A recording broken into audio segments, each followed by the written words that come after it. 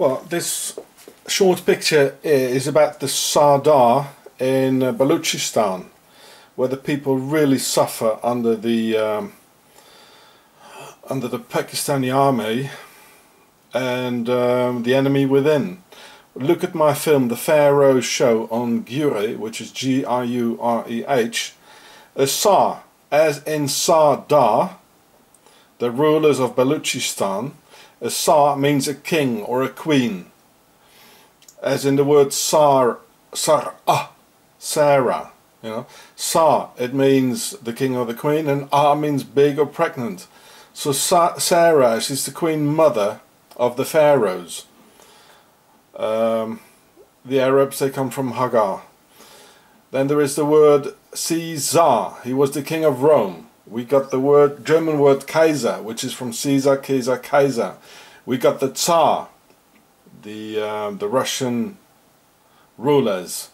We got the English word Sir, which is from sire, and sire means Tsar. We got the family, the royal family of England, which is called Windsor. We got Nebuchadnezzar. He was a Sardar as well. Uh, he was the king of Babylon. Uh, we got Sarkozy, he's the king of France. We got a um, Salazar, dictator in Portugal. Even the, French word monsieur is from monsieur and sire, sire is sar. And then we got the sarcophagus, which is a box to put the king in when he's dead, of the pharaohs.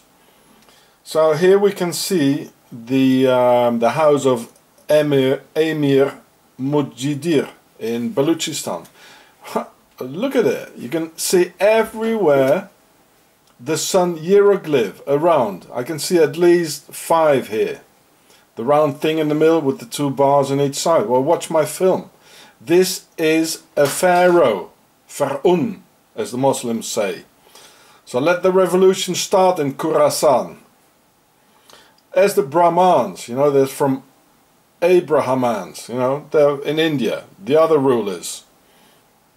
And of course, these Sars, or Sardar, in cooperation with the other pharaohs worldwide and in Pakistan, they let these poor people in Balochistan suffer so much